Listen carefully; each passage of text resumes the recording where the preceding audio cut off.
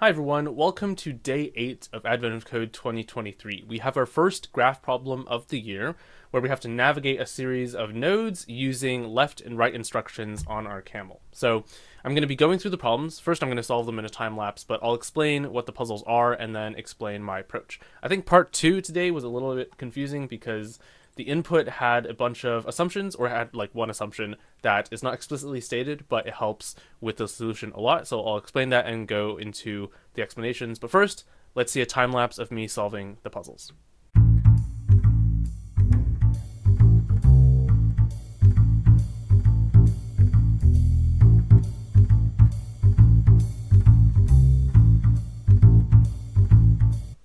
Today we are navigating the desert with our camel and we're traveling between a list of nodes which are each described with a three letter code. We have to navigate between the nodes using a bunch of instructions which are a set of left or right instructions that take us between the nodes. Each of the nodes has two paths outwards. Uh, one is left and one is right. For example, in this input, we have the node AAA, which goes to either BBB or CCC, depending on whether you choose the left or the right path. So we go through all of the instructions, either left or right, starting at AAA and follow these instructions. When we get to the end of the instructions, so there's only 277 R's and L's in my input. Once you get to the end of those, you just loop back to the beginning and keep following. For part one, we need to figure out how many steps it takes for us to get to ZZZ. Now, how do we do this? Well, I think today was a bit more implementation for part one at least. Part two was confusing, but I'll get to that. For part one, I spent a lot of time on extracting the input. I think, I mean, obviously there's a much simpler way to do this, which is just to find the indices of each line where the codes begin and end. But I decided to use regular expressions. I'm sure I'll get faster at this in the future, but I had to look up a bunch of documentation for um, how to extract stuff with regular expressions because I don't, I'm not fully familiar with the syntax in Python yet.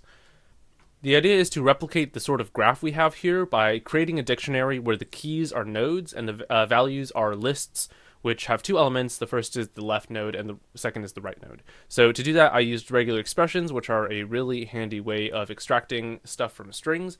Basically, what we're doing here is we're going through all of the lines, and then for each of the lines, we're going to extract this pattern, which says, okay, we have three letters, uh, and we're going to wrap that in the first capture group. So we're going to get to return this group when we're done with it. Um, and then we have a tuple, which has the opening parentheses. So we have to escape that because uh, the parentheses are going to be a special character in regex. And then we have three letters, comma, space, three more letters. And we're going to capture each of those. At the end, there's going to be three things re returned when we do dot groups. So we can populate the parent, left, and right variables. After that, we can just uh, denote that the children of this parent are left and right. So we know where to go when we're at this node, and we have to choose either left or right. So I'm going to start at AAA, which is the current node, and then we're going to initialize our count, which is the number of steps we've taken so far, at zero. While we're not at the ZZZ node, which is our stop node, we're going to figure out whether we need to go left or right, and that's going to be simply the count, which is the current index, I guess, of our uh, path, and then we mod that by the length of the instruction string because once we get to the end so i said the input has length 277 so when we get to 270 well i guess index 277 is going to be one past the end of that. Modding that with the length of the string 277 is going to get us back to zero. So 278 is then going to get mapped to 1 279 is going to get mapped to 2 which is all uh, very nice and well. So we take uh, that instruction. If it's left, you go to the left. If it's right, you go to the right. And then we increment the number of steps we've taken by one. At the very end, once we've reached ZZZ, we can break. I actually don't need this because we are already using a while loop that checks uh, that we're not at the end yet.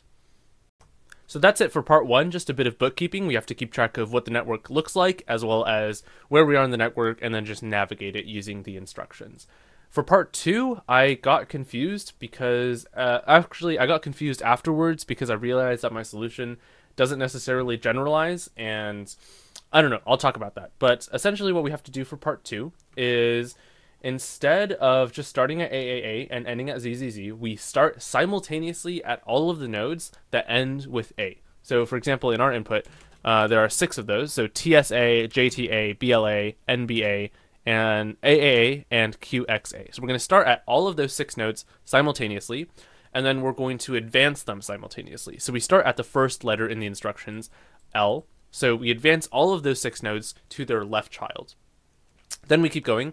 Um, once we have once we have updated all of those six, we're going to advance all of them to the right child, and so on and so forth. We're going to keep advancing them until all of them end up at a node that ends with Z. So actually, I want to check how many of those there are. Okay, there's only six.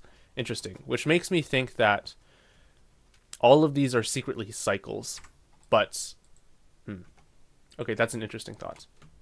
So I did a bit more digging, and it turns out they are actually all cycles, and I'll explain what I mean by that in a minute. But in this input, we have eight nodes, and here's what it looks like graphically. So we start at uh, 11A and 22A. Uh, this is at step 0. Then we move to 11B and 22B, then 11Z and 22C, then 11B uh, again and 22Z, then 11Z and 22B, then 11B and 22C, and finally 11Z and 22Z. And we end there because both of the nodes end with Z. So what's actually going on here is we have cycles which start at something that ends with A, and they go eventually to something that ends with Z after some number of steps, and it could be a large number of steps. But uh, that's one example. Uh, then we have a bunch more nodes which do the same thing they start at something else that ends with A, and then they end at something else that ends with Z. I think that's the structure that's going on here. So it turns out that actually, um, this one, when we end at Z, we actually end up going back to this node, which is the node which is which immediately follows uh, the node that ends with A that we started at, and the same goes for this one. I believe this is the case. It's not necessarily always general. So, for example, you know, we start at something A and then we end at something Z we could go back to something in the middle, perhaps. I'm not entirely confident about this. If you have thoughts, please leave them in the comments below. But I don't think it necessarily generalizes. I think uh, after you end up at something something z, you could hop back to something in the middle and then like start your cycle there. But we are guaranteed that it will eventually cycle because there's a finite number of nodes and the steps are also a finite length, so we got to start cycling somewhere. But it turns out that the input is constructed such that we always cycle back to the node immediately preceding uh, or immediately following the node that we started at. So that creates a nice little cycle, and it's true in the example input over here because 11z goes back to 11b, which is indeed the node after 11a, and 22z goes back to 22b, which is the node that comes after 22a. So for each of these, we start at a, and then we get to something z, and this is repeated like six times. And after this z, uh, we go back to the second node in this list. And the length of this cycle is exactly the number of steps it takes to get to z. So let's say this takes like two times, two steps, and then this one, same thing, takes three steps. So we can just take the lowest common multiple or least common multiple of the lengths of all of these uh, paths because there are cycles, and the cycles happen to be exactly the same as the length of the path from A to Z. So once we take the least common multiple, we'll have uh, ended at Z for all of the paths.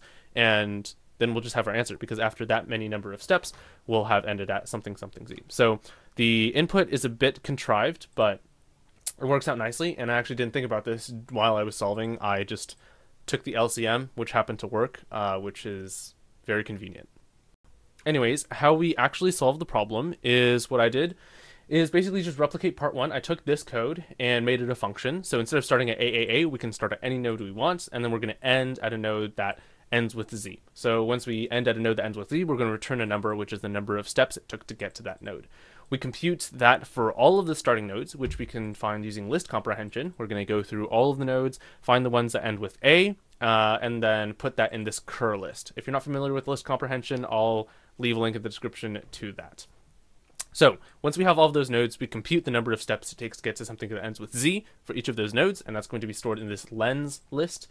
And uh, we just take the LCM of all of that. This notation, the star notation, is useful for when you have a function that takes in arbitrary number of arguments, but it's like as parameters and not as a list. So for example, if you're doing LCM of two, uh, two, three, five, seven, this is going to be the same as math.lcm star the list 2347. So you can pass in a list and it'll auto-generate the parameters for you like so. So that's how the LCM function works. And then you, we just pass in the lens list, which has the lengths of the cycles for each of the six starting nodes, and then we just print our answer. So that happened to work out really nicely. I'm surprised that I didn't get a wrong answer.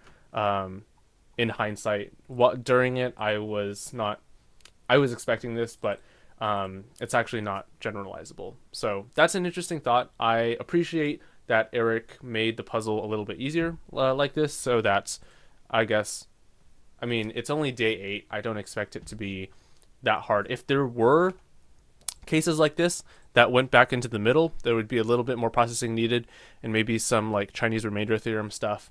Um, but we're not going to get into number theory. That's not necessary for today. We just need to know least common multiple for all of the cycle lengths. Take the LCM of all of those, and it just happens to work. Anyways, that's it for day 8 of Advent of Code 2023. I hope you enjoyed the video, and as usual, my code will be in the description below. If you have questions or comments, feel free to leave those down below as well, and I'll see you tomorrow for day 9. Thanks for watching.